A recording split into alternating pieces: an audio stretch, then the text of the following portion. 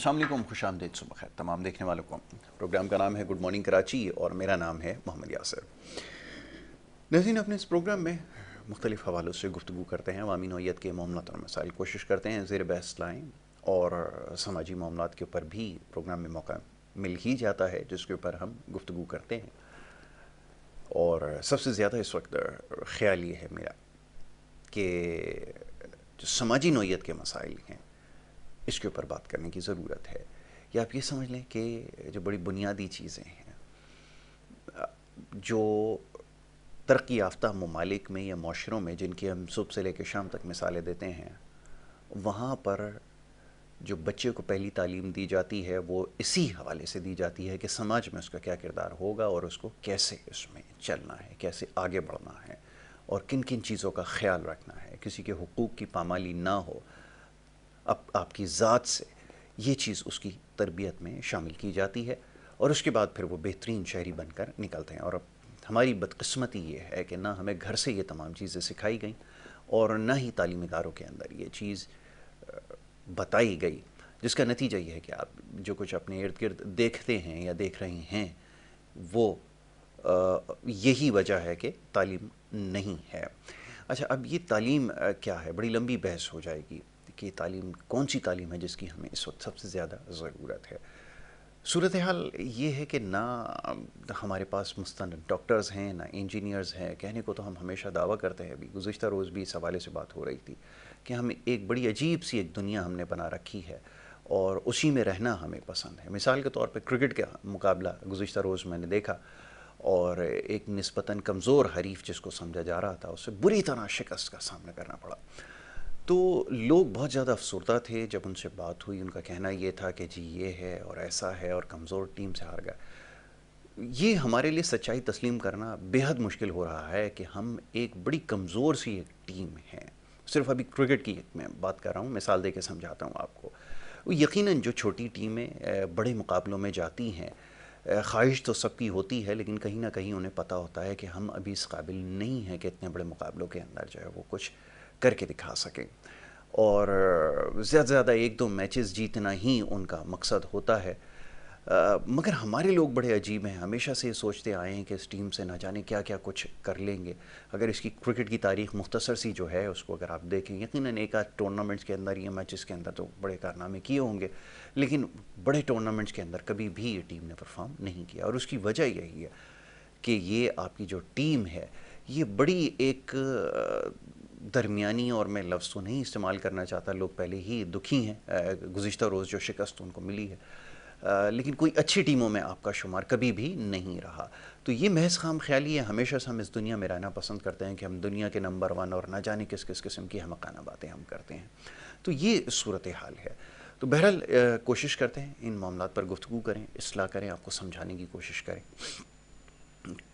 बहुत सारे सवाल भी लोगों ने लिख भेजे। कि क्रिकेट के ऊपर बात करें, भाई क्रिकेट से हमारा कोई वास्ता नहीं है। शाम के वक्त जो है वो हम क्रिकेट के ऊपर बात करते हैं, कोशिश करते हैं इस वक्त क्रिकेट की बात ना ही की जाए, क्योंकि कहने के लिए कुछ अच्छी बातें नहीं हैं और हम तो बहुत ज़्यादा तनकीद करते हैं, कुछ अच्छे राय भी आपकी टीम के लिए नहीं है। बहरहाल जिस तरह की ख़बरें आ रही हैं और हर दौर में ऐसा होता है तो वो कुछ अच्छी नहीं है। जो दूसरे मुल्क खेलने के लिए गई है, आपकी टीम, वहाँ पे क्या कुछ हो रहा है? तो ये सारी चीज़ें हैं। तो कोशिश करेंगे शाम के वक्त एक प्रोग्राम हमने शुरू कर रखा है, जिसमें क्रिकेट के हवाले से बात करें तो मौका मिलेगा ज़रूर इसके ऊपर गुफ्तु की जाएगी। इस वक्त बात करेंगे मुल्क सियासी और समाजी सूरत हाल के हवाले से। मज़ मेहमान तशी फरमा हैं, सईद रशीद साहब तजिया कार की हैसियत से यहाँ पर मौजूद हैं और उनको खुश आमदेद कहूँगा। बहुत शुक्रिया सईद भाई प्रोग्राम में वक्त देने के लिए। सईद भाई ये फरमाइएगा अब ये जो मोटी मोटी बातें हैं कि इंतबात कब होंगे, क्या सुप्रीम कोर्ट ने फ़ैसला दिया, ये दिया या नहीं दिया, किसको कितनी तोसी मिलती है, नहीं मिलती। एक आम आदमी का शायद इससे लेना देना नहीं है। ये बेचारे वो मजलूम लोग हैं जिनको सड़क पे चलने का तरीका भी नहीं सिखाया गया। गाड़ी रक्शे से हाथ निकाल के ऐसे कूड़ा सड़क सड़क के ऊपर फेंकने वाले लोग हैं। अब आप सोचिए, जब यहाँ पर लोगों की जहनीत यहाँ पर हो, वहाँ पे उनका क्या लेना देना कि किसको कितनी तोसी मिल रही है कौन कौन सी हाउसिंग सोसाइटी बनाने जा रहा है, ये क्या करने के लिए जा रहा है? वो तो अपना ही वो कर ले, बहुत बड़ी बात है। तो ये ज़रा फरमाइएगा कि आप क्या समझते हैं, क्या सोच रहे हैं? कि इंतबात क्या वाक़ता मसाइल को हल कर लेंगे और जो लोग ये जो जत्था यहाँ पर आबाद है जो गाड़ियों से हाथ निकाल निकाल के अपनी सड़कों के ऊपर कचरा करने वाला है क्या इनकी तकदीर बदल सकती है? ज़रा फरमाइएगा। जो आप शुरू में बात कर रहे थे कि इस मुल्क से तालीम तो है अभी। हर हर माँ बाप का ये होता है मेरा बेटा डॉक्टर बने इंजीनियर बने ये। मगर जो एक तरबियत थी ना हम्म। वो निकल गई।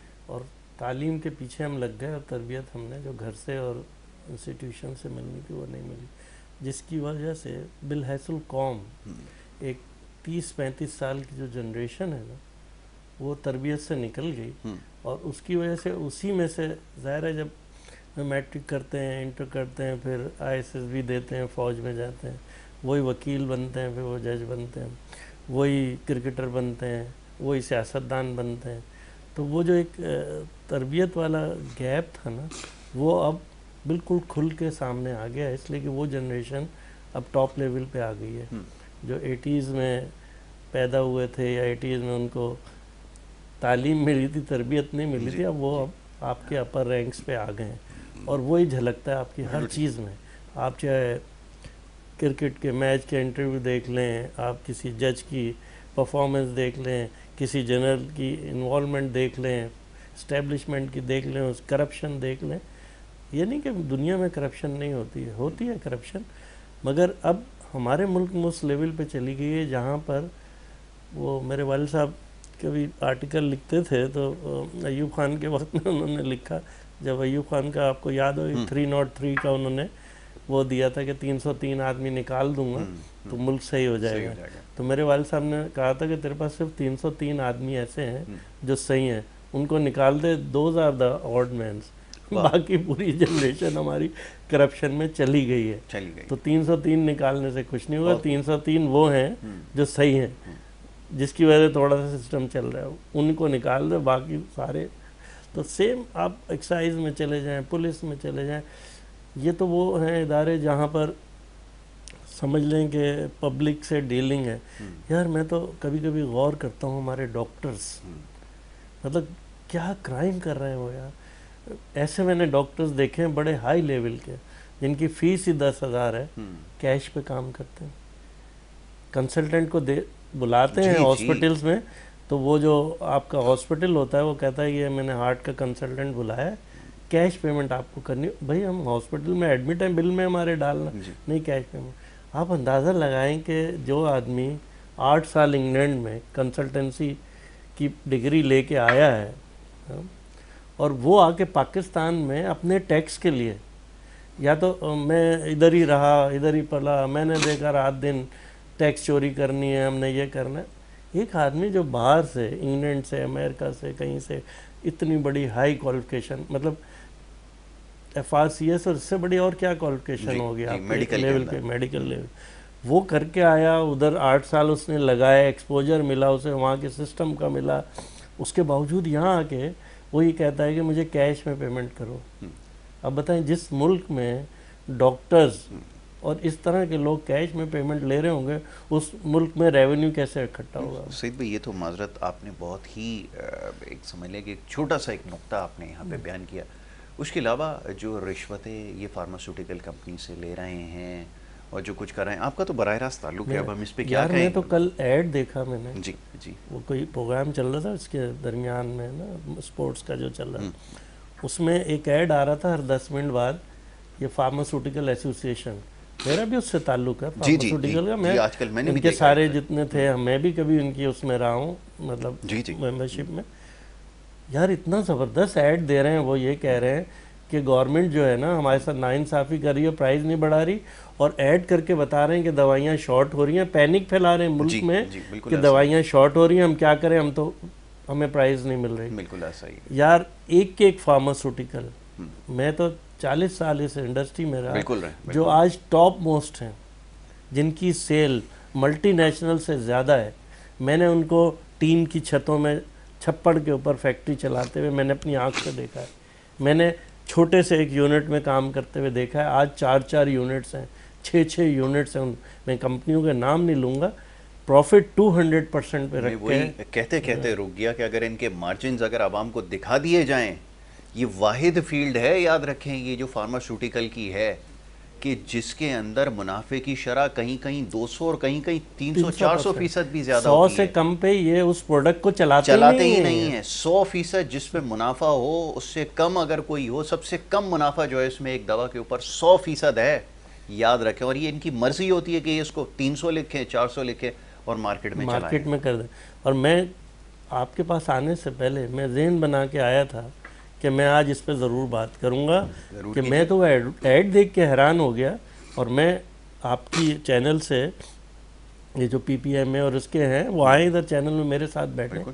बिलियंस में इनका प्रॉफिट है आफ्टर 35 परसेंट टैक्स के बाद। बिलियंस जी, जी। और अगर आप इनकी इंडस्ट्री में लोगों को देख लें हाल ये हाल है कि तीस हज़ार पैंतीस हज़ार पे लोगों को रखते हैं और सिर्फ़ प्रॉफिट कमाते हैं। बिल्कुल और इनका इनिशियली जो अपना इन्वाइसेस और ये सारी दिखाते हैं आप यकीन करें एक प्रोडक्ट कोई मल्टीनेशनल बनाती है अपनी पेरेंट्स कंपनी से लेती है मैंने एक ऐसी प्रोडक्ट बनते देखी जो एक करोड़ रुपए के जी एक करोड़ रुपए के जी के जी अब आप अंदाज़ा लगाएँ वो प्रोडक्ट से जब कोई टैबलेट बनती है तो 120 रुपए की एक टैबलेट और एक पेशेंट को दो रोज़ की खानी है तो 240 रुपए से वो एक टैबलेट खा रहा है और वो टैबलेट ऐसी है कि एंटीबायोटिक नहीं है कि सात दिन के लिए।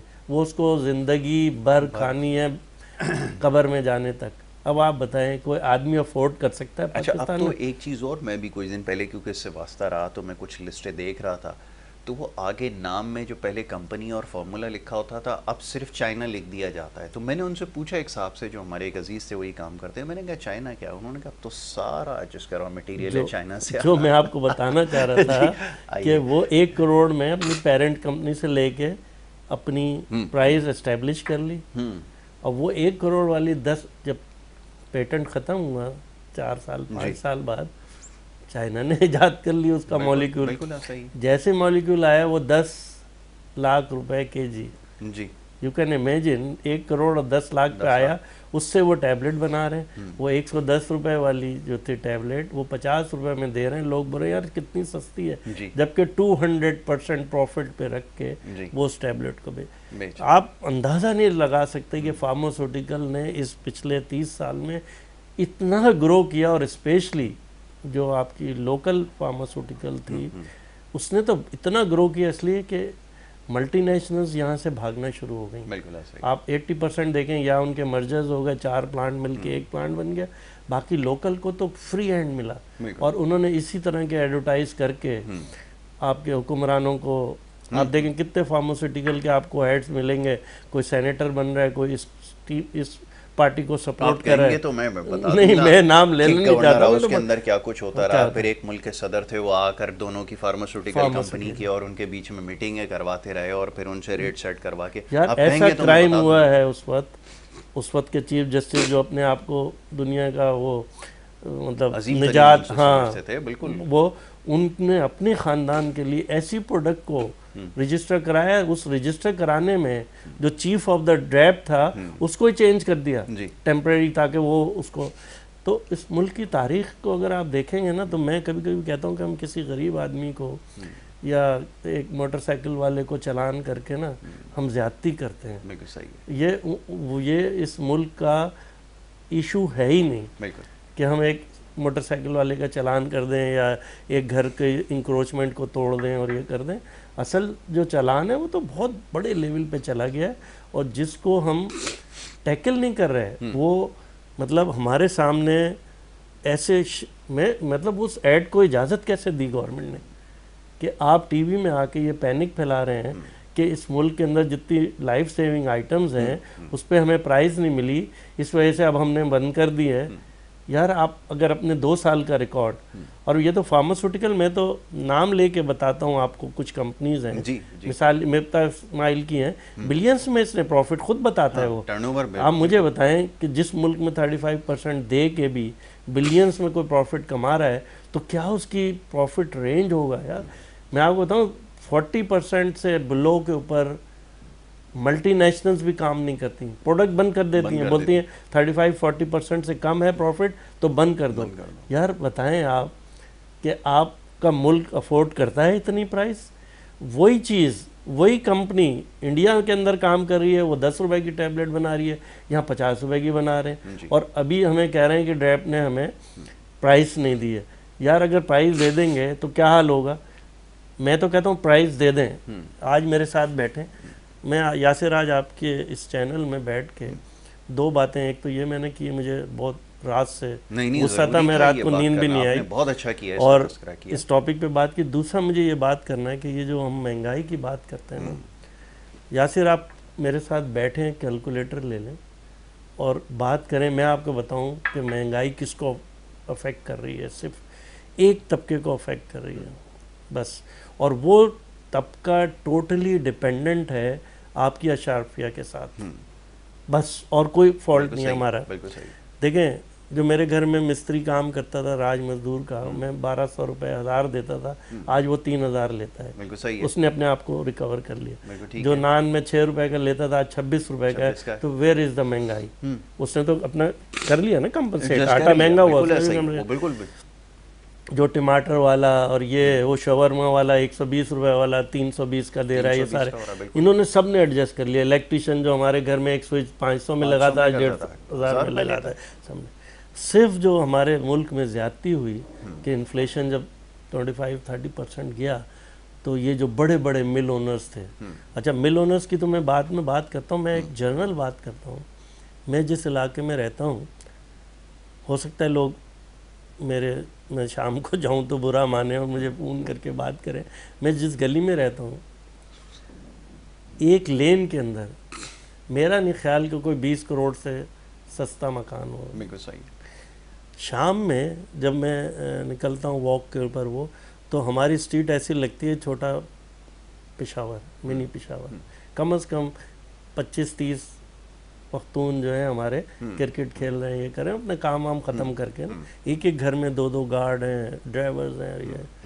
मैं कभी उनसे पूछता हूँ यार ये इतनी महँगाई के बाद छः छः मासियाँ हम्म, हर एक महीने बाद हमें सुनने आता है इस गली में मासी ये चोरी करके चली गई वो चोरी चली गई।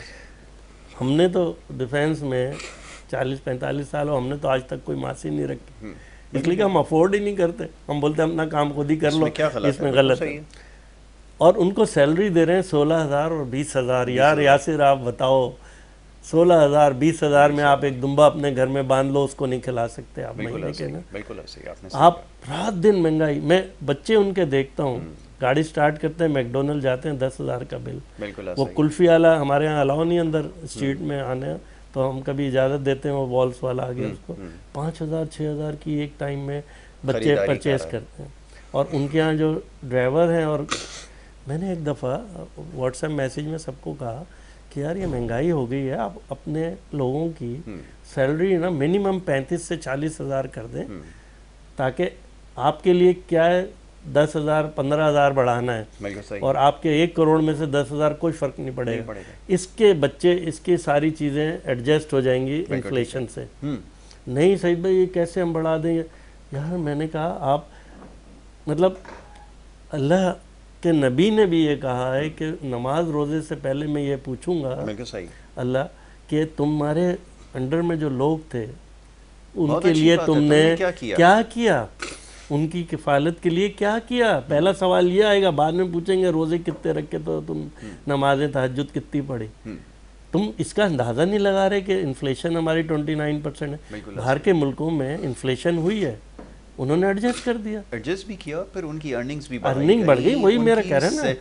सैलरीज आज हमारी जितनी इंडस्ट्री है जितना इस तरह का मैं आपके के ट्वेंटी वन की बात करता हूँ कि इसके जो ओनर्स हैं वो हैं वो सिंपल एक फ्लैट रेट डाले कि थर्टी परसेंट इन्फ्लेशन है फाइव परसेंट हम एक्स्ट्रा करके थर्टी फाइव परसेंट सबकी सैलरी इंक्रीज जिसकी साठ हज़ार है वो उसकी अस्सी हज़ार हो जाएगी जिस तीस हज़ार है उसकी पचास हज़ार महँगाई ख़त्म हो जाएगी। और जब आपकी मैं सऊदी अरब में मेरे दोस्त हैं कहीं एटीज़ से गए हैं जब हमने एम की उस वक्त से मैं कभी दस दस साल पूछता था वो कहते थे हमारी कोई इंक्रीमेंट ही नहीं होता। तो मैं बोला क्यों? यहाँ तो हर साल हम कह रहे हैं वो कहते हैं इन्फ्लेशन ही नहीं है तो इंक्रीमेंट किस लिए करें? जो एक डॉलर की या एक रियाल की बोतल पानी की मिलती थी बीस साल पहले आज भी वो वही उतने की मिली तो फिर सैलरी किस लिए बढ़ा है? ना वहाँ पर उगता है ना कुछ है कमाल ये है कि ना पानी है यार फ्रेश वाटर नहीं है वहाँ। जो प्राइसेस थी आलू प्याज टमाटर की आज भी वही है। अब लोग कहते हैं बाहर क्यों जा रहे हो? बाहर इसलिए जा रहे हैं कि वहाँ पे कभी किसी को मैंने ये कहते हुए नहीं सुना कि जी हमें टमाटर की वजह से जो है वो धक्के खाने पड़ रहे हम्म। हैं को ईद आ रही है तो टमाटर शॉर्ट हैं कभी प्याज नहीं है कभी प्याज आ जाएगी तो कुछ वो हो जाएगा। वो एक धर्म का एक किलो का हिसाब था कि एक धर्म में एक किलो ले ले। वो जना पता ही चला दस साल के बाद गए तब भी वही रेट में बड़ा हैरान मैंने कहा यार जिस मुल्क में पानी नहीं है मीठा पानी नहीं है वहाँ एक बोतल दस साल से हैं। और दस साल से एक ही रेट पे चल रही है। इन्फ्लेशन है नहीं है वो बोलते हैं बस ठीक है जितने का है उतने में खाए जाओ पिए जाओ पानी। किसी को कोई फ़र्क ही नहीं पड़ रहा कि इस मुल्क के अंदर किसी ने ये अंदाज़ा ही नहीं लगाया। यार यासिर आज मैं आप हम सब अपने मासियों की पैंतीस हज़ार हम्म। अच्छा मेरा तो बस नहीं चला पूरी स्ट्रीट के ऊपर अपनी। हम्म, तो मैंने कहा जो हमने गार्ड्स रखे हुए थे मैंने सबसे कहा कि इन गार्ड्स को अगर पैंतीस हज़ार सैलरी देंगे हम्म, तो हम इन्हें रखेंगे वरना नहीं। वो सिक्योरिटी कंपनी मुझसे हम्म, आपको याद होगा मैं डॉन में भी एक दफ़ा सिक्योरिटी। कंपनी का ज़िक्र किया था। वो सिक्योरिटी कंपनी मुझसे नाराज़ हो गई। यार हम तो बीस हज़ार देते हैं आप पैंतीस हज़ार क्यों देंगे अपने गार्ड को? मैंने कहा तुम जो मर्ज़ी है करो।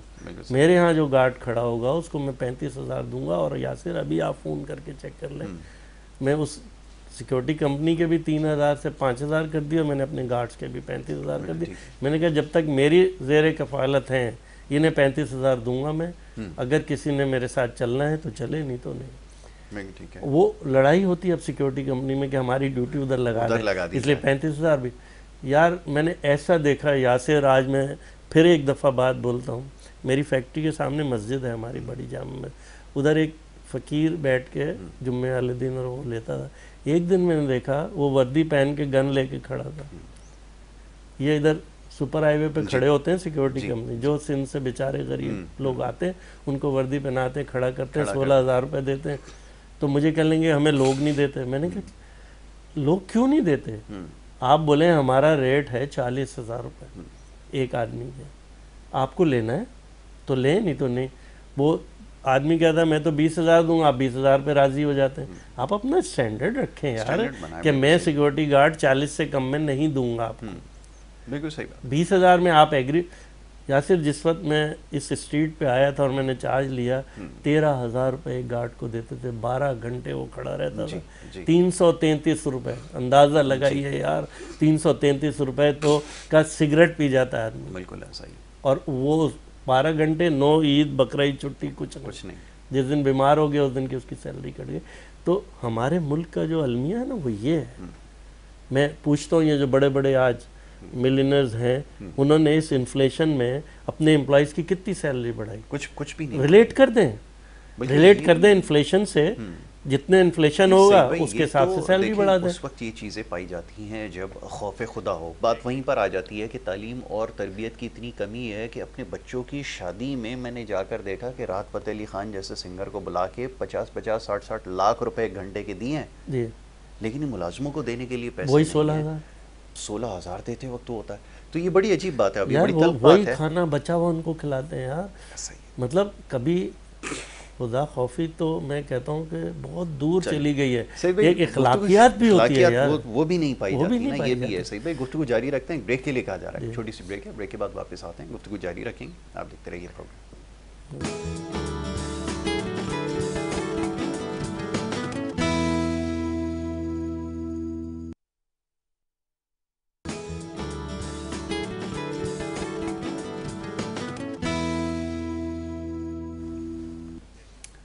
Welcome back. एक दफ़ा फिर आपको खुश आमदीद कहेंगे। ब्रेक पे जाने से पहले गुफ्तु जारी थी मौजूद मेहमान सईद रशीद साहब तशरीफ़ फरमाए और मामला जो इस वक्त जारी हैं, उसके ऊपर गुफ्तु हो रही थी।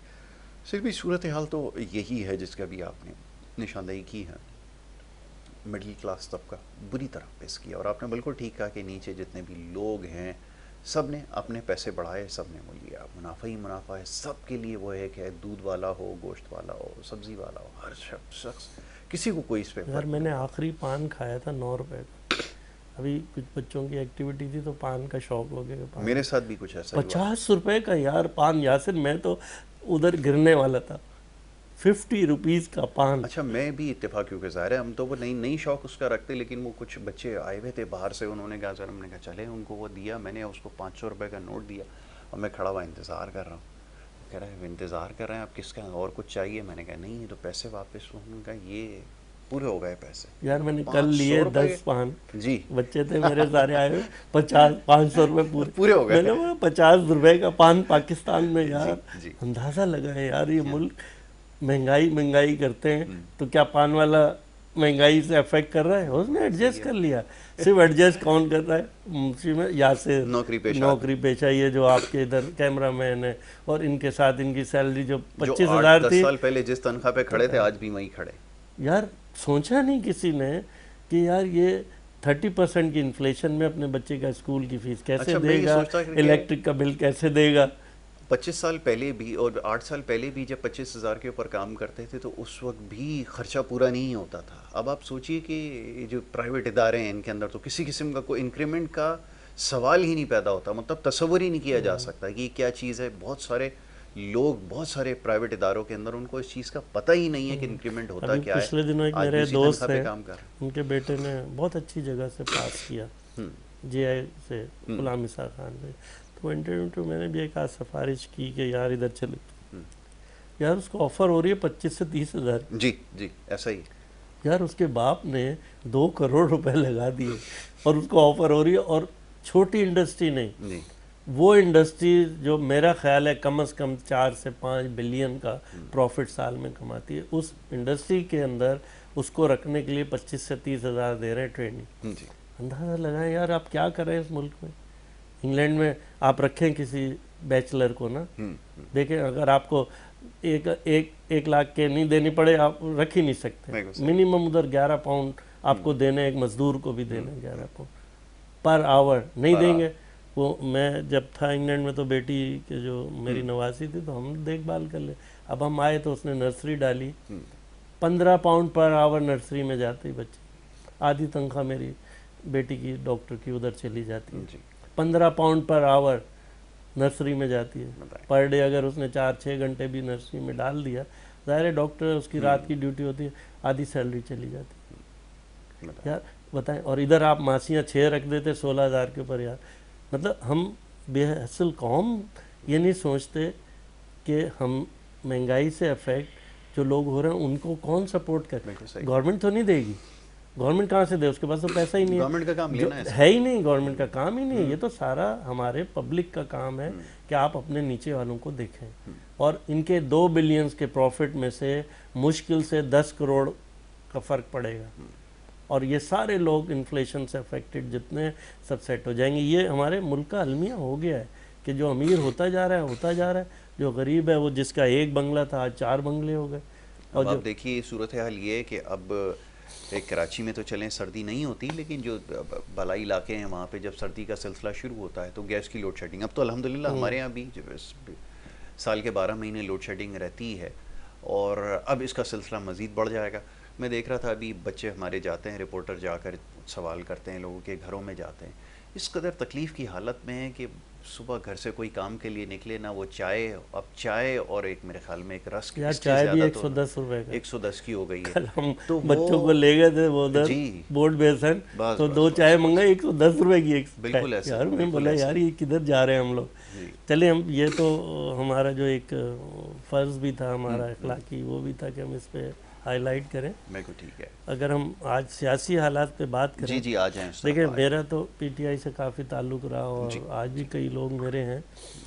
तो हमने एक कॉन्सेप्ट बनाया था उस वक्त हम्म। के शायद ये पीटीआई हमारे मुल्क के लिए कुछ फ़ायदे डालेगी ये।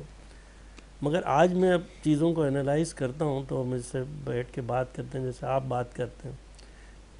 आपने इंट्रो में भी कहा कि हो सकता है उसमें से पाँच केसेस हम्म, जो चेयरमैन साहब हैं उनके ऊपर हम्म। गलत बनाए गए हैं ना तो यासिर हमें एक दिन ये फैसला करना पड़ेगा हम्म। आज कि जिस ताकत को आप कह रहे हैं हम्म, कि वो ये झूठे केसेस बनाती है तो फिर आपको 1947 से लेके और 2023 तक के हाय। जितने केसेस को एक लकड़ी से हाँकना पड़ेगा तो फिर आपको ये एडमिट करना? पड़ेगा कि भुट्टो को जो फांसी हुई थी वो गलत हुई थी।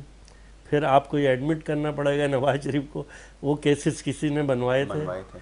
अगर केसेस बनवा सकता है कोई तो वही केसेस ख़त्म भी करवा सकता है। ये आपको एक दफ़ा समझ लेना चाहिए सीधा सीधा तो अगर आज नवाज़ शरीफ के केसेस ख़त्म हो रहे हैं ना किसी के कहने से बकौल। हम्म, जबकि मुझे नहीं लगता ये तो कोर्टों से हो रहा है तो आज पता चलेगा पता तो। चले। तो ये समझ लें कि केसेस उन्हीं लोगों ने बनवाए थे जिन्होंने आज उसको रिलीज़ करवा तो रहे सर ये तो वो कहते हैं अंग्रेज़ी में it's writing on the wall के तो दीवारों पे लिखा हुआ है लेकिन क्या ये इतनी अखलाकी ज़रूरत कर सकते हैं? क्या इनमें इतनी अखलाकी ज़रूरत होगी कि बाहर अगर कभी ये आ गए तो आकर ये कहें कि जी जो हमने जो बयानिया किया ये जो हमने नौजवान नस्ल के दिमागों में जो जहर भरा कि ये चोर है ये चोर है मेरी ज़ात के अलावा जितने लोग चोर हैं मैंने ये झूठा बयानिया गढ़ा था।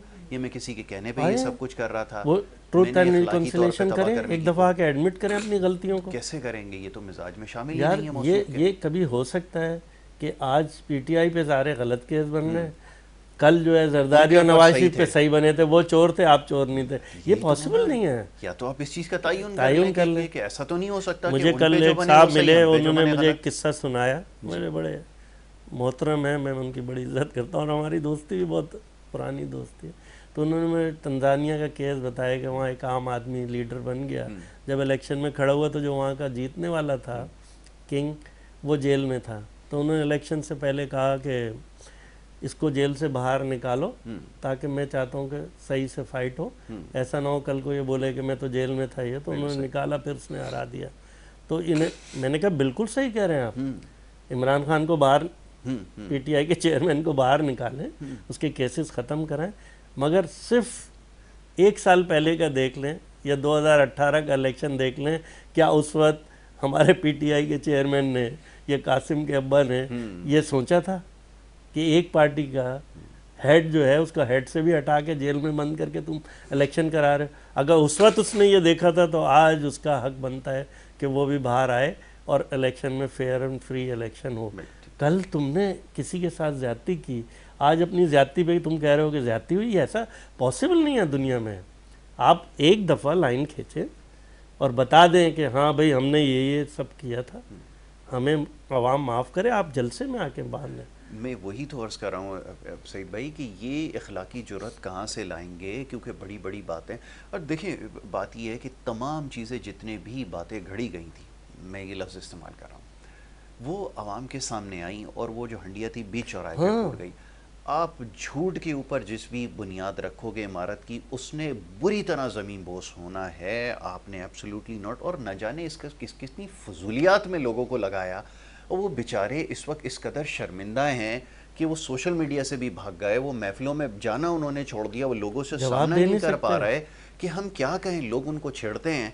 कि वो पीछे उन्होंने गाड़ियों के एब्सोल्युटली नॉट और क्या क्या इनके उसमें लगवा दिया। जब उसकी सच्चाई सामने आई तो लोगों ने दांतों में उंगलियाँ दे दी कि किस किस्म का झूठा शख्स एक हुआ चीज़ है। और मैं आपको बताऊँ कि अगर आप पहले का देखें हम्म, तो आपको 90 परसेंट केसेज में बैक पे आपको एक पार्टी इन्वॉल्वमेंट नज़र आती थी।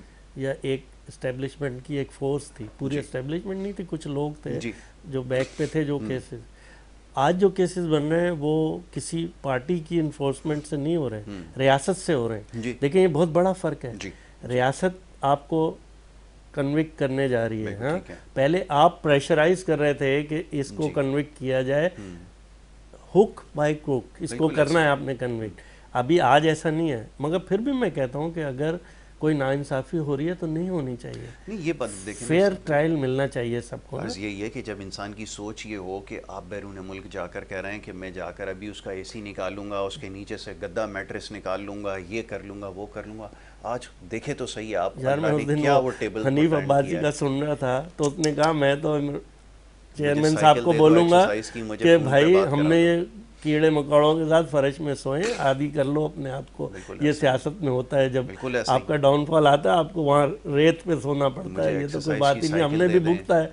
एसी भी दे दें यार आप भी दे दें राना सनाउल्ला का केस देखें मैं बोलता हूँ यार उसको तो डेथ सेल में डाल दिया कि आपके नार्कोटिक में तो सीधी फांसी है ना? है। उसमें तो बैक ही नहीं है। उसमें डाल दिया। और आज आप माजरत कर रहे हैं कि हमने गलत बनाया था। यार उसकी वो जवानी के दो साल चार साल हनीफ अब्बासी के कौन वापस करेगा जो जेलों में रहे? आप आओ आके बात करो टीवी में आवाम से बोलो हमसे गलती हुई थी। आज के बाद हम वो काम करेंगे जो फेयर ट्रायल देंगे सबको किसी के साथ ज़्यादा नहीं इतनी और ये नहीं कर सकते ये लोग।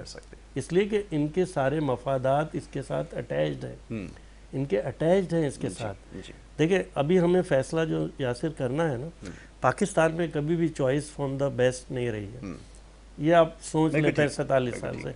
आपकी चॉइस फ्रॉम द वर्स्ट है। हम्म, कि वर्स्ट लोगों में थोड़ा कम वर्स्ट कौन है? और वो मैं अमेरिका के इलेक्शंस भी देखे हैं मैंने। वहाँ मियाँ बीवी आपस में भी बात नहीं करते हम्म, मगर जिस वक्त इलेक्शन के वोटिंग में जाते हैं ना तो वो पाँच छः पैरामीटर्स को सामने रखते हैं। बिल्कुल ठीक है। उनको ये वास्ता नहीं है कि यासिर शराब पीता है उसके पर्सनल इश्यूज़ क्या हैं हम्म।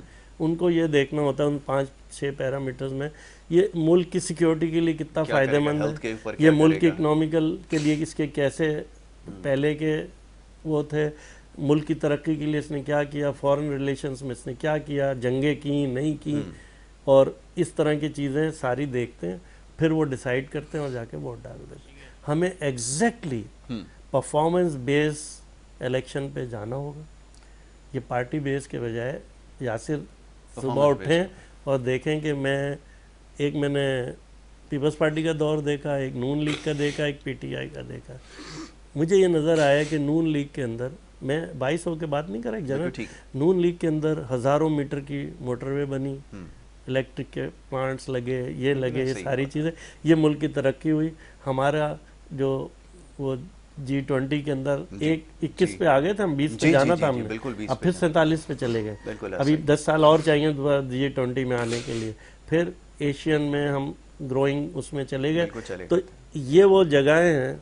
अभी व्हाट मैटर किक बैक्स ये आप एक तरफ़ रखें अभी। सिर्फ़ ये देखें कि उन दो दौरों में तीन दौरों में क्या तरक्की हुई? प्रोग्रेस क्या हुई थी? क्या जरदारी साहब के दौर में क्या कम हुए? एग्रीमेंट सी पैक हुआ ये हुआ इन चीज़ों को सामने देखें। और मैं बताऊँ कायद अजम की एक कॉल है कि जो इज्तमाही राय होती है ना हम्म। वो कभी गलत नहीं होती। ये बात तो आप जो वोट दे रहे हैं ना लोग हम्म। तो कुछ समझ के दे रहे हैं। और कल अगर हमारे पीटीआई को भी वोट देंगे ना हम्म। तो कुछ सोच के देंगे सोच तो के उसको ऑन करना चाहिए उसको ठीक है। रिस्पेक्ट देनी चाहिए कि आप भैया लोगों की आवाम ऐसा नहीं हो सकता कि एक करोड़ वोट लेने वाले को आप बिल्कुल भंगी बना दें और एक हज़ार वोट लेने वाले को बोलें कि इससे बड़ा मदीना की रियासत बनाने वाला कोई नहीं है। और यासिर आपने मदीना की रियासत बोली नवाज़ शरीफ ने तो नहीं बोली जरदारी ने तो नहीं बोली। मैं इसके ऊपर जो है वो कई घंटे जो है मजीद बात कर सकता हूँ वहाँ पर हम मिलके कर सकते हैं यकीनन। लेकिन अब क्योंकि वक्त हमारा जो है वो सेगमेंट का ख़त्म हो गया और ये इंशाल्लाह सिलसिला जारी रखेंगे। लोग यकीनन उनके दिल की बात कह रहे हैं तो वो उसमें ज़्यादा दिलचस्पी रखते हैं बजाय इसके कि किसके साथ क्या हुआ या किसको कितनी तोसी मिली इससे उनकी कोई दिलचस्पी नहीं और ये इंशाल्लाह करते रहेंगे। बहुत शुक्रिया आपका कि आपने अपना वक्त दिया शामिल गुफ्तु रहा। यहाँ पर नाजीन वक्त हो रहा है एक ब्रेक का। ब्रेक के बाद दूसरे सेगमेंट की तरफ़ हमें बढ़ना है। आप देखते रहिए प्रोग्राम गुड मॉर्निंग कराची